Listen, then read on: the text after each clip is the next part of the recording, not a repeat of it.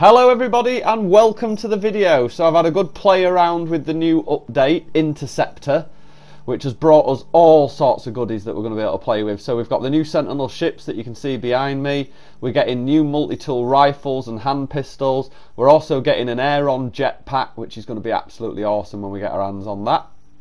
Loads of other things have come with the update, including an evolving storyline, which has piqued my interest the most because I'm sure a few of you know by now the lore and the story of this game get me every time. I think they're absolutely amazing, and especially if we're going to get a little bit more. So, the deal is at the moment we seem to have these crashed ships and corrupted sentinels on certain corrupted planets. And each time we find a corrupted ship or a settlement or something like that, we're getting left with the. Uh, like these robotic arms and pieces of robots that are lying around. And they give us a little bit of text and then all they start doing is repeating like a number. I've seen like the fourth the ninth like this one the eighth the sixth. And i'm wondering whether or not that's all leading into the next part of this evolving storyline that we're going to be getting. Because like you say there's been a few things in the patch notes uh, that suggest that this is only the beginning of a, a, much larger arc that we're getting within the game, and especially something that popped up a few days, weeks ago. All of the guys that are on YouTube were popping up with the videos, weren't they, where they were doing these modded out space stations and stuff like that, and they're saying it's in the game files, it's not a mod, it's not a mod. Well, what if they've stumbled upon a further down the line chapter of this story because if you look at those space stations, those space stations look eerily similar to the kind of technology that the Sentinels use, especially when you look at these ships that we can now get, these procedurally generated ships, and also the encampments, the echo camps and things like that. I mean, let's just take a look at it. The way the metal's designed, the way that the uh, textures are done on this actual ship, it's very reminiscent of the textures and the and the kind of designs that they're using for these modded out space stations. So I do wonder whether or not that was just a cheeky little find by the community and we are getting something further on down the line. It'd make sense though, wouldn't it, if the corruption is spreading so like it starts off on planets, the sentinels start dropping out of the sky in planets and they're leaving these crystals everywhere. There's these echo camps. Now we can take over sentinel ships. What if the sentinel corruption uh, finds its way up to some space stations somehow through Pugneum or maybe a traveller brings it up there unbeknownst and the next thing you know we've got sentinel run space stations or at least corrupt space stations because I mean ultimately the game's dying. 16 16 16 is the amount of minutes we've got left in the in-game universe. It's the atlas isn't it? It's the machine that made all this. It's dying. So there's a possibility that the corruption spreading is the start of the virus that's going to kill the machine. But as you can see look dissonant. That's what we're looking for. Sorry, I get carried away. So we're going to drop along in space and we're going to go along and where it says water normally in the orange writing, we're looking for something that says dissonant. And if it says that, like there, just there, did you see it? Dissonant. So we need to head to that because it's dissonant galaxies that are going to have corrupt sentinels on their planets. So here we go. Let's go have a look. Right, so we're in the system. Let's take off in our new Sentinel fighter and let's go find a planet that's going to say corrupted sentinels on it. Like I say, they're procedurally generated, so you might have to have a look around for them. There's a couple of ways you can do this actually. I'm showing you the planet side version because on the planet side version there are quite a few things to do. Like I say, there's new buildings, there's new jetpacks, there's new uh, multi-tools and things like that. But if you want to just bypass all that and you want to just crack on with finding Sentinel ships, either start a fight in space with a freighter or a fleet freighter or something like that, or just shoot at the space station. You're going to attract the uh, Sentinels pretty quickly, like you see, look there, corrupted Sentinels at the bottom. That's where we want to be going. So you're going to attract the Sentinels pretty quickly if you do end up just shooting at the space station or somewhere. But if you can survive a couple of rounds of it, to be honest, you're going to call in the spaceship, uh, you're going to call in the Sentinel freighter, sorry, destroy that, which you can now do, and it's going to bypass all this and it's going to give you the brain that you need to just jump in your first ship. But when we're planet side, start collecting radiant shards and start collecting the other bits and bobs that are on the planet. There's another crystalline formula, uh, formulation. Where is it? This thing here, living fragments. Uh, uh, it's going to give you At- Atlantideum. I'd like to think that's how they're saying it. So there's a few things I'm just going to go through with you that we're going to need. Atlantideum is one of them. It's a disharmonic metal, ethereal substance spills from the bodies of corrupted sentinels as they fall, showering pri- pris- prismatic grains seeking out their next host. That's something that you need to pick up in abundance on the planet because the amount of times that's going to come in useful. Radiant shards, fragments of glassy life force chipped from larger formations, dynamic intermodular bindings, gives the shard a strangely flexible, sinewy quality. You're going to need them as well because that's part of um, fixing things up uh, for your Sentinel ship technology and things like that. It powers your Sentinel ship as well. So you're going to need to collect loads of that. Crystalline hearts. Now you're going to get these from quadruped unit sentinels and quadruped unit sentinels are an absolute bloody nightmare to kill. So really make sure that you've got a really good S-class weapon if you can. You've got some good mods on it because these hearts are part of something you're going to need. And like you see look at the size of the bloody things. It, eh, they are really hard to take out but you're going to need it anyway. Inverted mirror is something else that you're going to need uh, as part of this mission. And you get your inverted mirrors uh, from some giant drill-like sentinels that are boring through the planet. Uh, you can find them on your scanner. Uh, they're pretty easy to find. Dissonance resonator. There you go. Look. So all you do is you look for them on your scanner, and then when you have found one, just mark it down, jot over to it. You're going to get attacked by sentinels the minute you destroy it.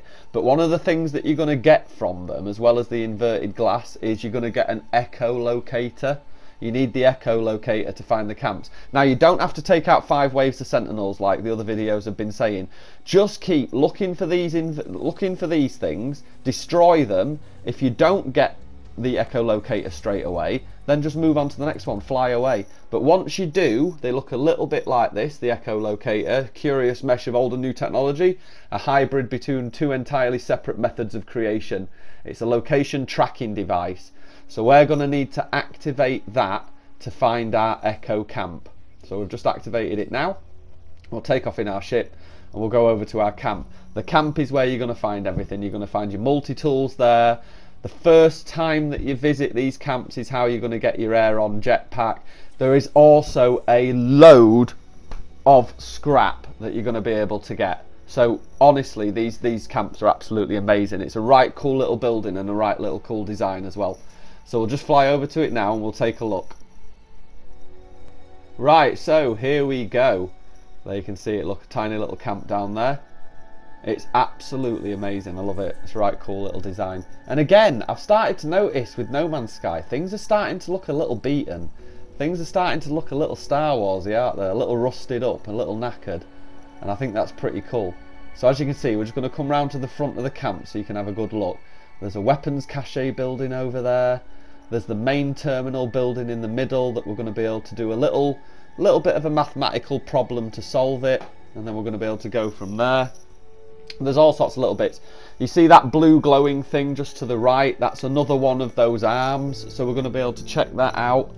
And we're going to be able to see another piece of the story unfold, another little piece of the puzzle. But oh, what if we could get that tarp as a downloadable thing from uh, Quicksilver. And a few of these parts, to be honest, I'm really hoping some of these parts come up as Quicksilver items for bases. But there you go, look, suspicious packet tech. We've picked that up. There's your gun. You're going to be able to unlock that in a bit, but for now it's locked. We can't get to it. We need to solve that puzzle piece that's in that uh, main building over there. But we're interested in collecting all this scrap because this scrap is very, very valuable. Like there's runaway mould, uh, like I say, the suspicious weapons packets, the suspicion technology packets, there's a lot of goodies in here. So if we can grab as much as possible, it's going to help us out loads. So yeah, why are these sentinels crashing? Why are these camps being set up? Why are the Aerons losing their ability to maintain their ships? What is the corruption? What's going on with the sentinels? The sentinels are designed almost like antivirus uh, within the system uh, from what I've been able to understand. The Sentinels are there to purge anything that shouldn't be in the system and to protect uh, the Atlas, which is the main computer. So if these are like the antivirus software of No Man's Sky, then what is it that has got into the antivirus software to corrupt it? and why is it being corrupted and does that mean that the clock's going to tick a little bit further on from 16 because if you remember the atlas is dying we left planet earth years and years and years ago and we left the atlas on planet earth. And it was quite happy to sit there and build these universes but now its time is up and it's dying it's searching for something. And that's all the main storyline and i'm really interested to see where it goes. So our shells have been consumed by fire, our minds have been purged by betrayal, banished to the glass beneath, forgotten by creation. That's the world of glass. That's somewhere that Ariandi went, one of the people that works in the anomaly. But no longer we are given life as something gives life to themselves. We shall create ourselves. The terminal repeats this message endlessly, a loop chanted out across its circuits. So we can either input the override glyphs, which we don't know what they are at the moment. We can scan from the memory. So when we scan, we get a little bit of a simple maths problem. So 3 minus 1, 2 plus 7, 1 plus 0. So we've got 2, we've got 9, and we've got 1. So there are three numbers, 2, 9, 1.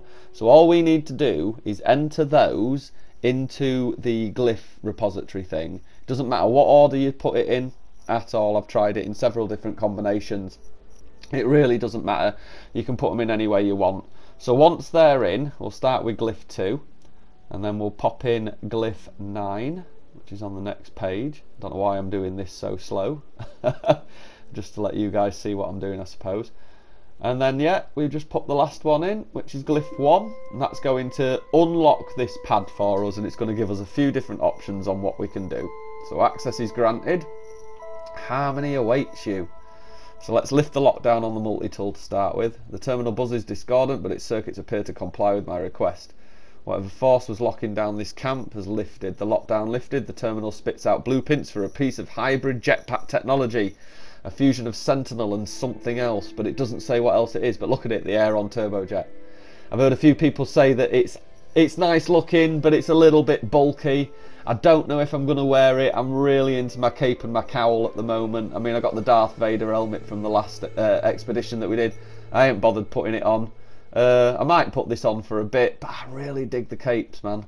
Honestly, I think they're really cool. So before you leave the harmonic interface, just go back into it because we're not quite done yet.